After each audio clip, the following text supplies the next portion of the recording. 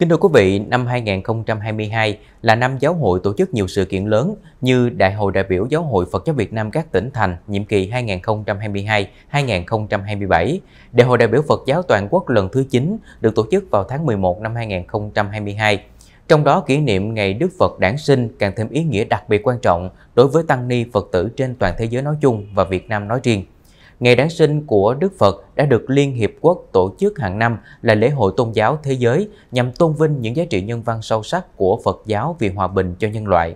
Trong bối cảnh toàn xã hội luôn luôn phải đề cao tinh thần phòng chống dịch bệnh, đảm bảo an toàn sức khỏe cộng đồng, Ban Thường trực Hội đồng trị sự Giáo hội Phật giáo Việt Nam đã có thông bạch số 85 duyệt TB HDTS đề nghị Ban trị sự Giáo hội Phật giáo Việt Nam các cấp, các chùa, cơ sở tự viện trong cả nước Tăng Ni và đồng bào Phật tử tổ chức lễ kỷ niệm Ngày Đức Phật Đản sinh lần thứ 2646 năm, Phật lịch 2566 như sau. Về công tác tổ chức cần lưu ý, 1. Ban tổ chức và kế hoạch tổ chức đại lễ, lập kế hoạch tổ chức đại lễ Phật đản Phật lịch 2566 và tuần lễ Phật đản của địa phương, thông báo kế hoạch tổ chức với chính quyền địa phương, ban tôn giáo và ủy ban nhân dân tỉnh thành phố để được hỗ trợ trong công tác tổ chức. 2. Địa điểm tổ chức. Lễ đài tập trung được tổ chức tại văn phòng Ban trị sự Giáo hội Phật giáo Việt Nam cấp tỉnh, thành phố và Ban trị sự Giáo hội Phật giáo Việt Nam cấp quận, huyện, thị xã, thành phố thuộc tỉnh hoặc các địa điểm thích hợp cho phép. 3. Thời gian tổ chức từ ngày 1 tháng 4 đến ngày 15 tháng 4 năm nhâm dần, tức là ngày 1 tháng 5 đến ngày 15 tháng 5 năm 2022.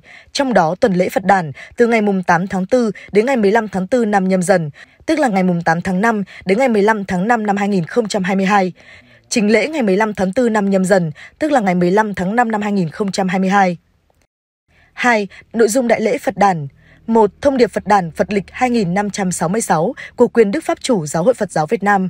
2. Diễn văn Đại lễ Phật đàn Phật lịch 2566 của Hòa thượng Chủ tịch Hội đồng trị sự Giáo hội Phật giáo Việt Nam. 3. Bài giảng về ý nghĩa Phật đàn Phật lịch 2566 của Ban Hoàng Pháp Trung ương Giáo hội Phật giáo Việt Nam. 4. Các biểu ngữ được treo trong ngày Đại lễ Phật đàn Kính mừng Đại lễ Phật đàn Phật lịch 2566, đoàn kết, hòa hợp, trưởng dưỡng đạo tâm, trang nghiêm giáo hội, phục vụ chúng sinh là thiết thực cúng dường chư Phật. 3. Hình thức tổ chức Đại lễ Phật đàn 1. Đại lễ Phật đàn có thể tổ chức một ngày trọng thể hoặc tổ chức tuần lễ kính mừng Phật đàn tùy theo tình hình thực tế tại địa phương. 2. Các chùa cơ sở tự viện tổ chức bồn tắm Phật truyền thống và khuyến khích các gia đình tôn trí bồn tắm Phật nơi trang nghiêm tại tư gia, thực hiện nghi thức tắm Phật cầu quốc thái dân an, thế giới hòa bình. 3. Treo cờ, phan phướn, lồng đèn, thiết lập vườn lâm tỳ ni, biểu ngữ kính mừng Phật đàn tại văn phòng Ban trị sự Giáo hội Phật giáo Việt Nam cấp tỉnh, thành phố và cấp quận, huyện, thị xã, thành phố thuộc tỉnh, các cơ sở tự viện của Giáo hội Phật phật giáo Việt Nam và tại tư gia Phật tử.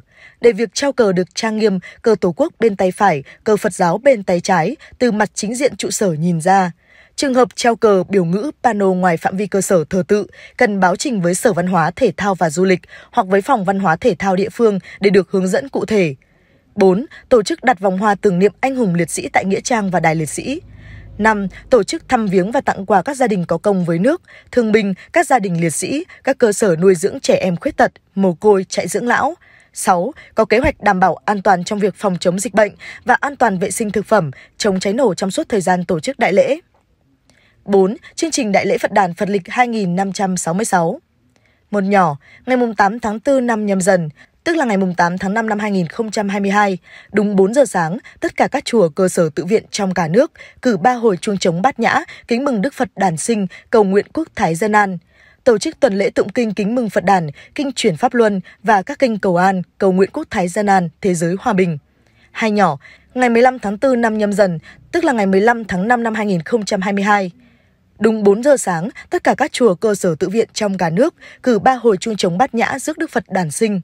Cử hành đại lễ Phật đàn, bao gồm các mục niệm Phật cầu gia bị, cử quốc ca, đạo ca, tuyên bố lý do giới thiệu đại biểu tham dự chương trình đại lễ, dâng hòa kính mừng Phật đàn, tuyên đọc thông điệp Phật đàn Phật lịch 2566 của quyền Đức Pháp chủ Giáo hội Phật giáo Việt Nam diễn văn Đại lễ Phật đàn Phật lịch 2566 của Hòa thượng Chủ tịch Hội đồng trị sự Giáo hội Phật giáo Việt Nam. Phát biểu của đại diện chính quyền, nghi thức tụng niệm kính mừng Phật đàn, nghi thức tắm Phật, hồi hướng, thả chim bồ câu và bóng bay hòa bình, cảm tạ của ban tổ chức. Ba nhỏ, chương trình thuyết giảng tại chùa cơ sở tự viện tổ chức các chương trình văn hóa nghệ thuật triển lãm chào mừng. Năm lớn, biện pháp tổ chức. Một nhỏ, Trên cơ sở kế hoạch tổ chức Đại lễ Phật đàn Phật lịch 2566 và tuần lễ Phật đàn, Quý ban đăng ký việc tổ chức Đại lễ Phật đàn với chính quyền địa phương, tôn giáo và với Ủy ban nhân dân tỉnh thành phố đề nghị hỗ trợ tổ chức thành công đại lễ hai nhỏ liên hệ với các cơ quan thông tấn, báo chí, phát thanh, truyền hình trung ương các địa phương và của giáo hội để đưa tin về chương trình Đại lễ Phật đàn Phật lịch 2566. Ba nhỏ, các ban trị sự có nhu cầu tổ chức truyền hình trực tiếp Đại lễ Phật đàn trên truyền hình An Viên, BTV9, các nền tảng số của giáo hội và Phật sự online, đề nghị liên hệ với Văn phòng Trung ương Giáo hội, Văn phòng 1, Văn phòng 2 bốn nhỏ. Trong quá trình tổ chức thực hiện, nếu ban trị sự địa phương nào cần sự hỗ trợ của ban thường trực hội đồng trị sự, xin kịp thời liên hệ về văn phòng Trung ương Giáo hội, văn phòng 1, văn phòng 2. Năm nhỏ, Ban Thường trực Hội đồng Trị sự Giáo hội Phật giáo Việt Nam đề nghị Quý ban Trị sự Giáo hội Phật giáo Việt Nam các cấp, chư tôn đức trụ trì các tự viện, tăng ni và Phật tử, hoan hỷ phát tâm cúng dường công đức, trí tuệ vào việc tổ chức đại lễ Phật đàn, Phật lịch 2566 được thành tựu viên mãn.